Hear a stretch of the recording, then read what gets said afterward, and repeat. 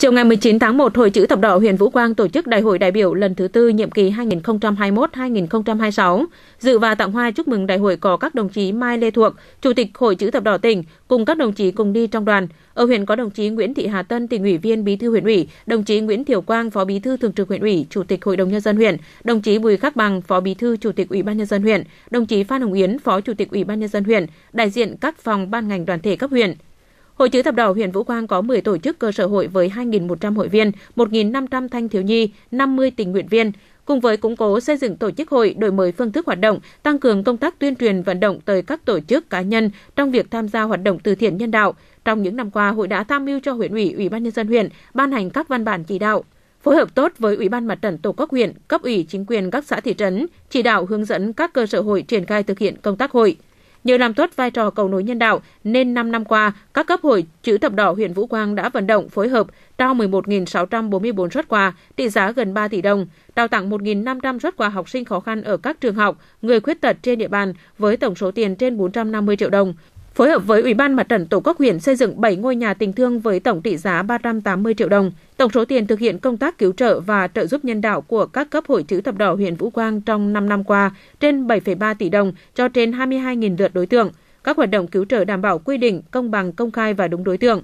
Dự án ngân hàng bò tiếp tục được triển khai thực hiện đảm bảo, tạo thêm một nguồn sinh kế giúp họ vươn lên thoát nghèo bền vững. Công tác chăm sóc sức khỏe cho nhân dân dựa vào cộng đồng luôn được hội quan tâm. Hơn 1 tỷ đồng trợ giúp cho 5.850 lượt người là một minh chứng.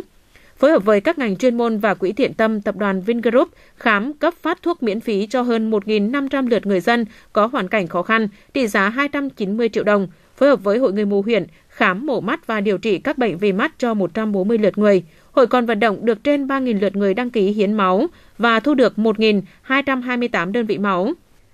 Tiếp tục đẩy mạnh công tác tuyên truyền nâng cao nhận thức cho các tầng lớp nhân dân về mục đích, ý nghĩa các hoạt động của Hội chữ thập đỏ, chủ động tham mưu cho cấp ủy, chính quyền nhằm cụ thể hóa các chủ trương đường lối của Đảng, chính sách pháp luật của nhà nước trở thành các nội dung chương trình hoạt động của hội, cần tiếp tục làm tốt công tác phối hợp với các tổ chức đoàn thể trong hoạt động nhằm nâng cao hiệu quả các chương trình nhân đạo từ thiện, tiếp tục đẩy mạnh cuộc vận động mỗi tổ chức cá nhân gắn với một địa chỉ đỏ nhân đạo.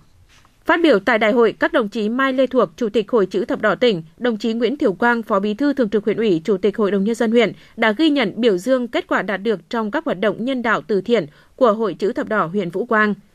Tại đại hội đã trao tặng giấy khen cho 4 tập thể 6 cá nhân vì đã có thành tích xuất sắc trong hoạt động hội nhiệm kỳ 2016-2021.